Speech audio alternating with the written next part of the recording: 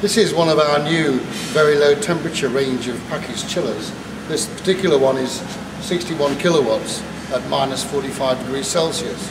We'll also have a range of process cooling between 0 and minus 45. So at any one of those temperatures, this machine can provide the customer with trouble-free and perfect fluid temperature control.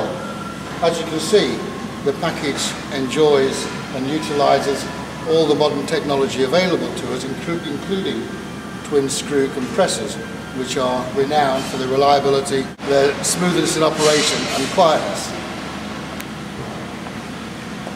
Some of the major features are the two compressors. Each compressor is on its own little circuit, but then joins into a single refrigeration circuit throughout the system.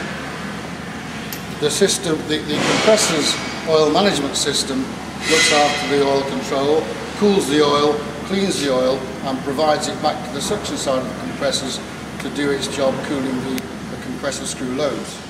The water-cooled condenser is a shell and tube type of condenser located down here and on top of that is the oil cooler which cools the oil. Both are thermostatically controlled to maintain both the oil and the refrigerant at very precise temperatures and conditions.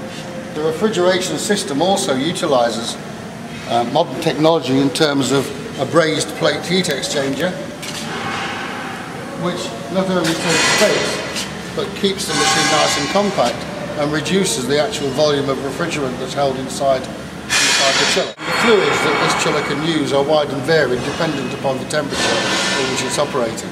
They can use either the potassium-based fluids which will go down to minus 60 or standard ordinary ethylene glycol based water systems. Electronic control system utilising a PLC and state-of-the-art temperature controls. The expansion valve is, is one of the most modern electronic expansion valves which maintains the refrigeration evaporating temperature at very stable conditions.